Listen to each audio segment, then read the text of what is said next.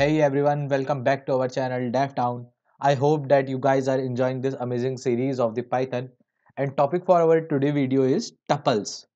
So now coming to the very basic questions, very basic point like what are tuples and what are the uses of tuples? So tuples are used to store multiple items in a single variables. So as we have talked earlier about the variables, so tuples are used to store multiple items in a single variable and tuples are written with a round bracket as shown up below. Okay. So for an example, like I have created a variable fruit in which I have apple. Okay. So now guys, what do you think that this is a tuple or this is something else? Okay. So now let's just print the type of a let us check.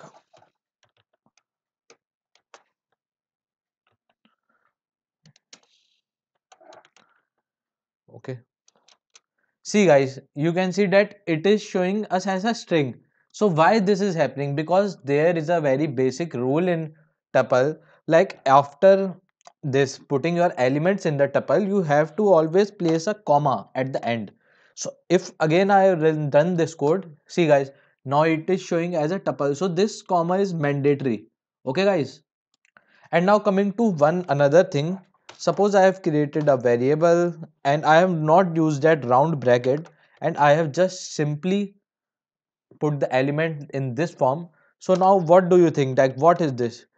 Okay guys? So you will be shocked to know that this will be also treated as a tuple. Okay? For an example if i print a see guys I am getting this round bracket. Okay. So if you also don't put the round bracket it will be treated as a tuple. Now let us see some inbuilt functions of the tuple.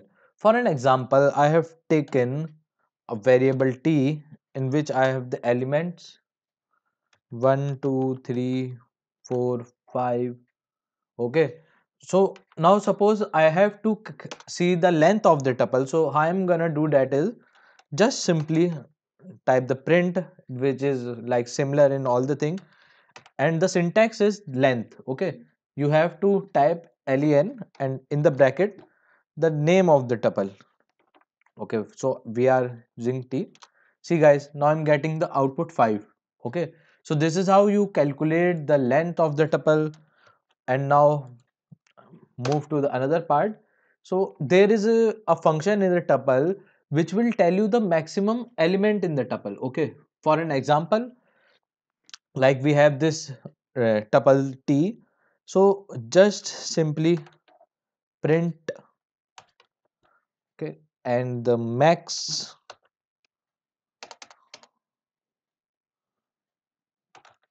okay guys i hope this thing is very much clear to you.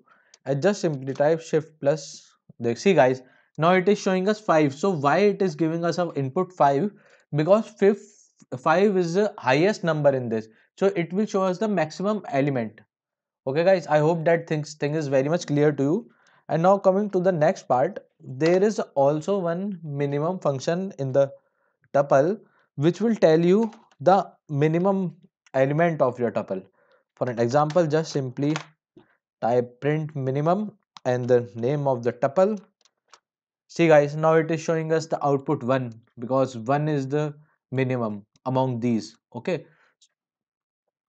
And now coming to the sum function in the tuple okay? So you can also do the sum of all the elements in the tuple by this function. So the syntax is simple print okay guys? Print sum and the name of the tuple. See guys, it is showing us the answer 15, which is the sum of all these five. Okay. I hope that thing is very much clear. It is very easy thing guys. Okay.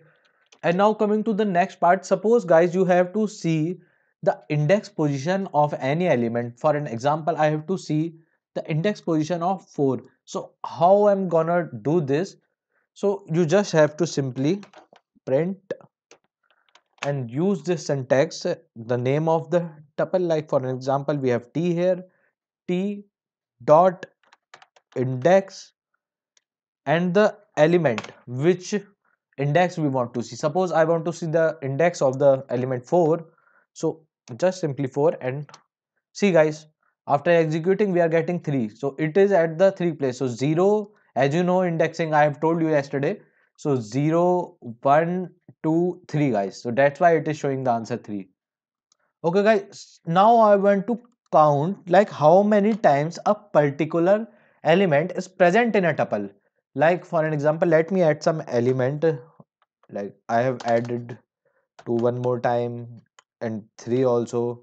Like again 2 so suppose i have to count the occurring of 2 so how i am gonna do that? Let me show you guys so guys syntax is very much simple of it. Just simple start with the print as usual the name of the uh, tuple in which you want to execute t and dot count.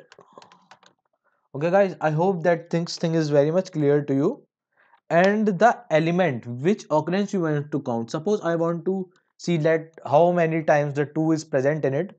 I will just simply enter the 2 shift plus enter see guys i am getting the output 3 so let me count it. 1 2 and 3 guys. Okay? So i hope that this thing is very much clear to you guys. And i hope that you will like this video and please subscribe to our channel DevTown